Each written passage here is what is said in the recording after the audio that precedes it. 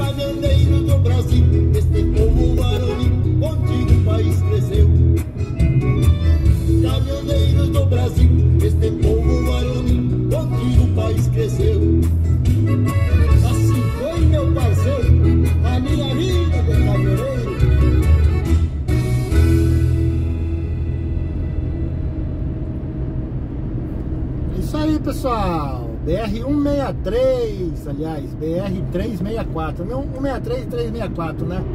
Ela tem número remontado, sentido Lucas do Rio Verde.